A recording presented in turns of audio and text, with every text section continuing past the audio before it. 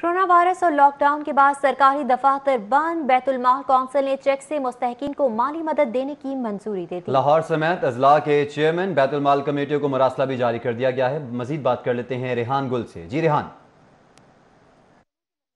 جی صوبائی بیت المال کمیٹی کی جانب سے مالی امداد کے لیے اجازت دے دی گئی ہے کہ چیکس کا استعمال کیا جا سکتا ہے۔ اس سے قبل بیت المال کمیٹی نے تمام اضلاع کے جو ڈسٹرکٹ بیت المال کونسلز ہیں، ان کو منع کر دیا تھا کہ وہ چیکس کے ذریعے مالی امداد نہیں فراہم کریں گے، کیونکہ صوبائی سطح پر یہ پالیسی بنائی جا رہی تھی کہ موبائل کیش کے ذریعے اب پیمنٹس دی جائیں گی جیسے کہ Benazir income support programme کی پالیسی موجود ہے۔ لیکن لاک ڈاؤن کے بعد ادارے بند ہو گئے اور جو موبائل پر کیش کے حوالے سے جو سروسز کی پیش رفت ہے، وہ رک گئی تھی۔ اسی بنا پر اب یہ کہا گیا ہے کہ آپ چیکس کے ذریعے ادائیگی کر سکتے ہیں، لیکن وہ تمام کا تمام ریکارڈ آپ نے روزانہ کی بنیاد پر صوبائی بیت المال کونسل کو جمع کروانا ہے اور اس کی رپورٹ ان کو بھجوائی جائے گی۔ یہ مراسل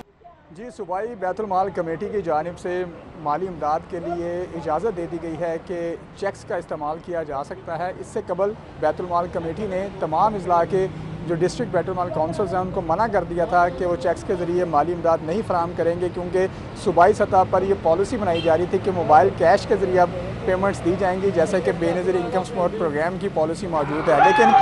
لاک ڈاؤن کے بعد ادارے بند ہو گئے اور جو موبائل پر کیش کے حوالے سے جو سروسز کی پیش رفت ہے وہ رک گئی تھی۔ اسی بنا پر اب یہ کہا گیا ہے کہ آپ